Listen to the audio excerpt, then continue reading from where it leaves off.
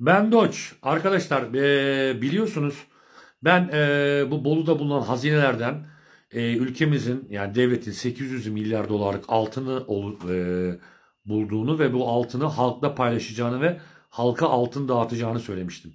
Tabii ben bunu söyledikten sonra e, yastık altındaki altınları anlatmıştım.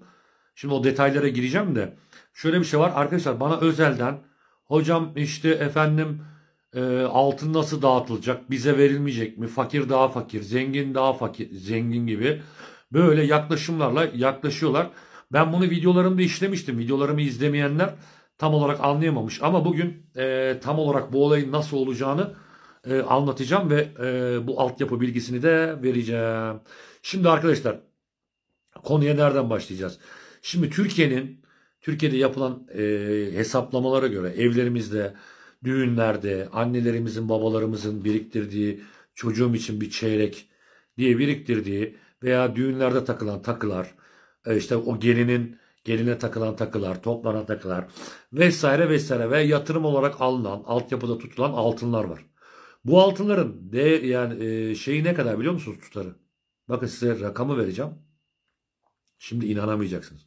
Şu an yastık altında tutulan altınların toplam değeri 350 milyar dolar. Bakın bu rakamı çok iyi bir şekilde aklınıza tutun. 350 milyar dolar. Peki Bolu kazılarında tapınak şövalyelerinin Kudüs'ten getirip daha sonra gömdüğü Tarsus'ta yapılan kazılardan sonra ortaya çıkan ve şimdi ikinci kazının da Düzce'de yapılacağı ee, ve bulunan altınların ve güvenli yere götüren altınların Değeri ne kadar? 800 milyar dolar. Şimdi ilk verdiğim rakama bakın, ikinci verdiğim rakama bakın. Demek ki devletin bu parayı uluslararası rezervlerde kullanamıyor. Çünkü rezervlerde kullanması için yer altından çıkması gerekiyor. Ya da uluslararası anlaşmalı altın satan firmalardan lisanslı bir şekilde aldıktan sonra ancak şeye koyabiliyor. Nereye koyabiliyor? Rezervlere. Yani bizim ülkemizde diyelim 450 ton altın var. Bunu yasal bir şekilde bu söylediğim açık kaynaklardan bunları yapmak zorundasınız. Peki ikinci şık neydi?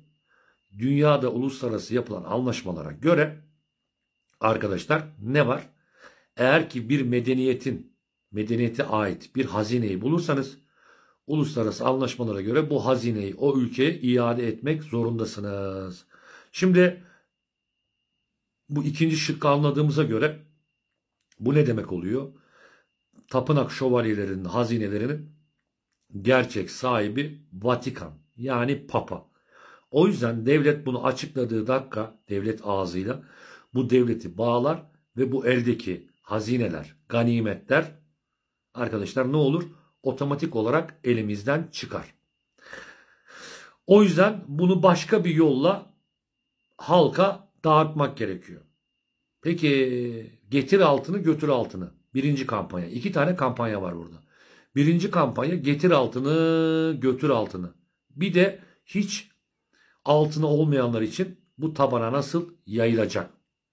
Şimdi onun detaylı size bilgisini veriyorum.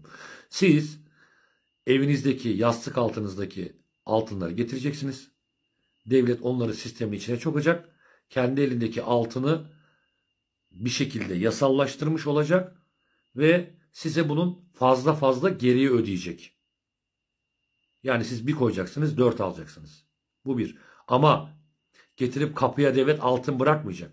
Siz altınlarınızı götürüp devlete vereceksiniz. Bankalar veya ilgili kurumlar bunu kaydedecek. Ve ondan sonra siz de onun dört katı misliğin e, şeyinde hem kendi yatırımınızı koruyacaksınız hem de aldığınız 4 misli altın yine sizde kaldığı için otomatik olarak ekonomiye girmiş olacak.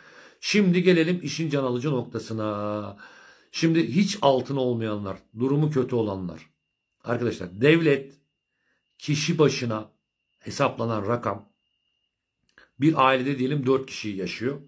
Arkadaşlar kişi başı 13 bin dolar. Kişi başı 13 bin dolar. Türk lirası karşılığını bulursunuz.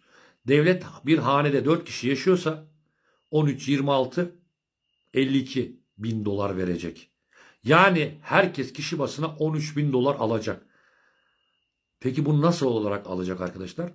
Bunu size farklı sosyal yardımlar vesaire gibi farklı şekilde devlet bunu size kanalize edecek. Yani devlet bir tane stand kurup gel kardeşim al şuradan bir külçe altın, al buradan bir külçe altın demeyecek. Bununla ilgili projeler zaten açıklanacak ve sizler de bunların hepsini göreceksiniz. Bir de son sözüm var.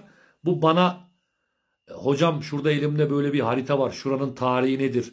Hocam hazinenin üçte birini size verelim falan filan diye e, yazanlar var. Arkadaşlar ben hazineci değilim. Bana kaynağım ne bilgi veriyorsa ben de size o bilgiyi aktarıyorum. Son olarak şunu söylüyorum. Bütün sosyal medya adreslerim Emre Batuhan Köksal. YouTube adresim de Emre Batuhan Köksal. YouTube'dan Bolu'daki bu kazının yapıldığı bölgeye gideceğim. 72 saat aralıksız yayın açacağım. Şimdi hepiniz YouTube kanalından beni takip edin. Arkadaşlar hepinizi seviyorum. Umarım açıklamam yeterli olmuştur.